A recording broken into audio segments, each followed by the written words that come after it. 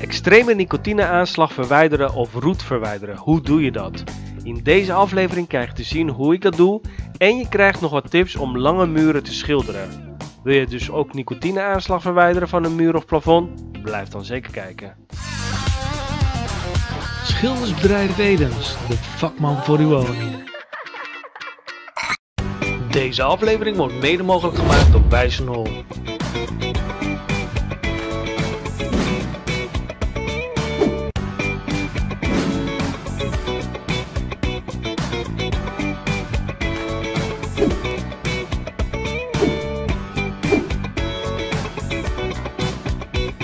Wijzenhol, voor het beste schilderwerk. Hoi en welkom bij Schildersbedrijf Edens. Mijn naam is John Edens en via mijn kanaal ontvang je hele leuke schildertips zodat jij als doe-het-zelver het zelf kan schilderen. Dus ben je nog geen abonnee van mijn kanaal en wil je geen fouten maken tijdens het schilderen? Abonneer hieronder op mijn kanaal en druk even op dat belletje zodat je geen schildertip hoeft te missen. En vandaag in deze aflevering ga ik laten zien hoe ik de muren hier achter mij, die onder de nicotine zit, hoe je dat wegkrijgt. Vaak moet je daar een isolatieverf voor aanbrengen. En vandaag ga ik je daar even bij helpen hoe jij dat thuis kunt doen. Nou zou ik willen weten van jou, heb jij al wel eens te maken gehad met ondergronden die nicotineaanslag hebben of eventueel roetaanslag of uh, watervlekken? Laat me dat even weten hieronder in een reactie. Klik nog even op het gele icoontje of hieronder op de rode knop om te kunnen abonneren en we gaan snel van start.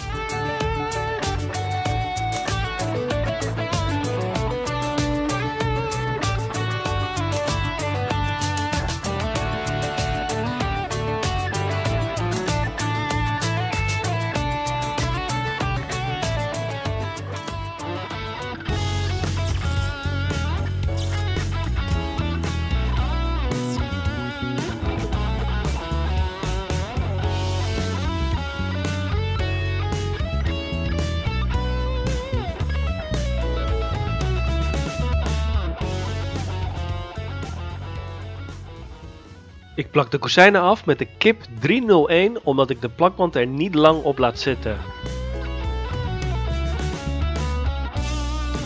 Langs de muren gebruik ik de Ultra Sharp 3301 van KIP. Als je goed kijkt zie je dat ik het afplakken op het grijze deel doe.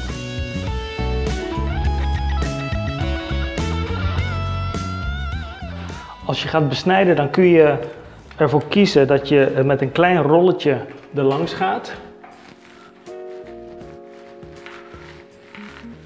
Maar meestal moet je wat meer opnemen op je rolletje. Dus wat ik vaker liever doe, is even met de grote rol erlangs.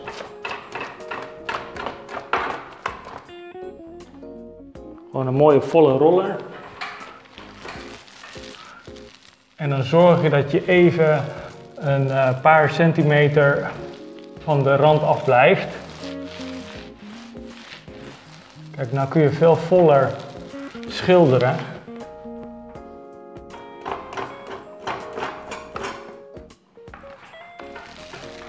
Zeker met deze structuurmuren, dan moet je toch al aardig wat dikker schilderen. En als je dat hebt gedaan,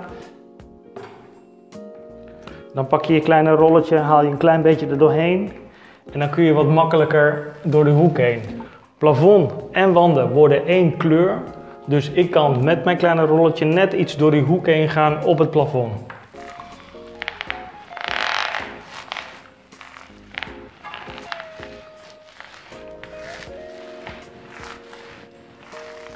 En dan kun je ook een klein beetje verf van de grote gedeelte wat je al hebt gepakt, kun je dan iets pakken en die breng je als het ware naar de hoek toe.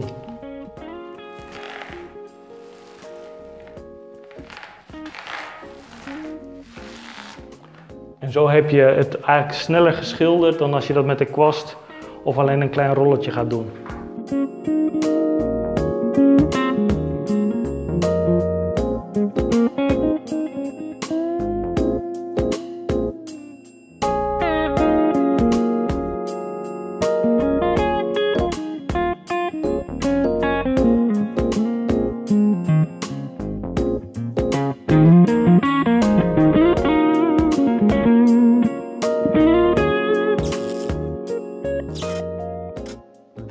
Welke verf je hiervoor kunt gebruiken? Dan kun je eventueel de isoleergrond van Wijzenol toepassen.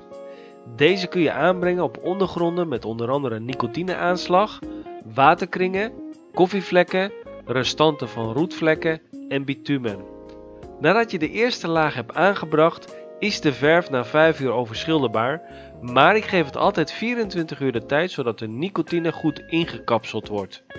Afhankelijk hoe sterk de vlekken waren, kun je ervoor kiezen om een tweede laag aan te brengen. Zijn de vlekken goed gedekt, dan kun je een tweede laag verf aanbrengen met eventueel de kleur die je zelf al hebt of een goede latexverf zoals de Wijseltex Mat. Zorg in ieder geval ervoor dat je een goede latexverf hebt die spanningsvrij is. Ik ben nu op de helft van mijn muur, maar jij moet even kijken hoeveel en hoe snel jij het kunt doen. Voor mij is dit even voldoende. Ik ga eerst het eerste deel nu aanpakken, zodat ik nat in nat kan blijven schilderen. En daarna pak ik de andere deel van de muur. Dus voor jou, misschien moet je 5 meter doen, misschien moet je 3 meter doen. Als je maar zorgt dat alles nat in nat blijft.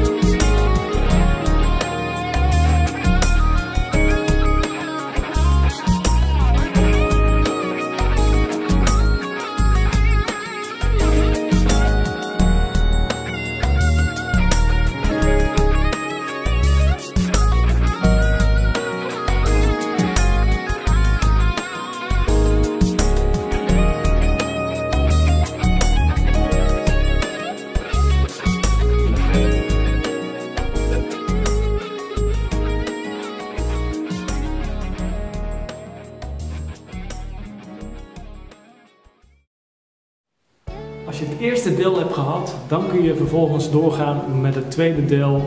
En dan probeer je dat een beetje aan elkaar aan te laten sluiten. Ik heb mijn laatste baan die ik hier heb gedaan, heb ik een beetje uit laten vloeien. En dan kun je straks daar weer in laten vloeien met je nieuwe uh, baan. En dan zul je ook zien dat het mooi in elkaar doorloopt en dan zul je ook geen banen erin krijgen. Ik heb de randen langs de tape al heel dun gedaan zodat deze even kunnen drogen. Het is je misschien opgevallen dat ik twee verschillende tapes aangebracht heb op het plafond en wanden. Dit heb ik enkel gedaan omdat ik bepaalde handelingen aan het testen ben, waar ik jullie later wellicht wat meer over kan vertellen. Beide opties zijn dus mooi recht geworden.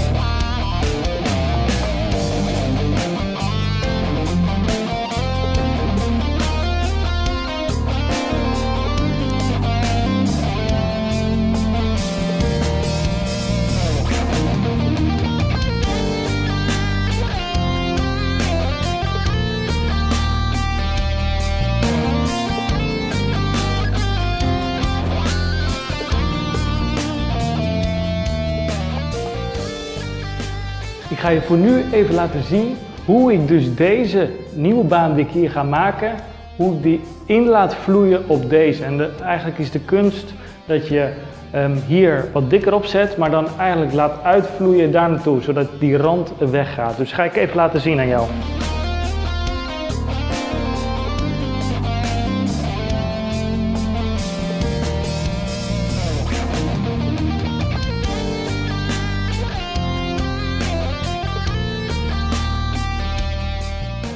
Hoe verder ik kom op die muur, des te minder hard ik druk. Dus eigenlijk laat ik hem alleen licht overheen rollen, zodat dat wat makkelijker doorvloeit.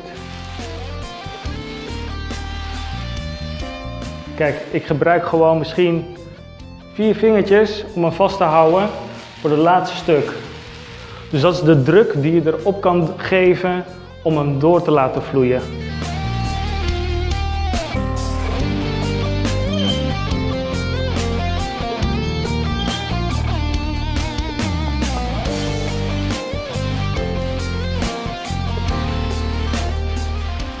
Ga je die kant op, dan kun je weer de volle druk geven om het te kunnen schilderen.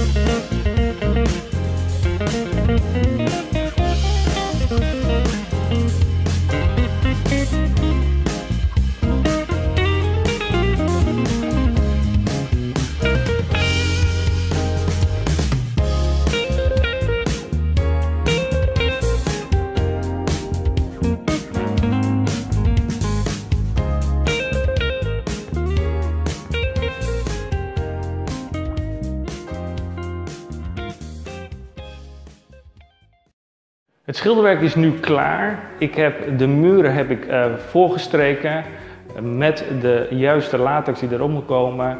En als je dat hebt gedaan, dan moet je eigenlijk die latex goed laten drogen. En als je dat hebt gedaan, dan kun je kijken of de vlekken er doorheen komen of niet. Is het zo dat die toch nog doorheen komen, dan is het misschien raadzaam om hem nog een tweede laag te geven.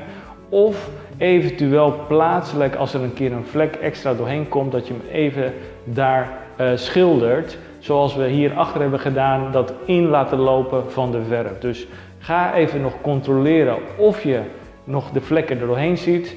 Zie je ze niet meer doorheen, dan kun je overstappen op de tweede laag. Je tweede laag is dus eigenlijk de uiteindelijke laag die je op aan wilt brengen.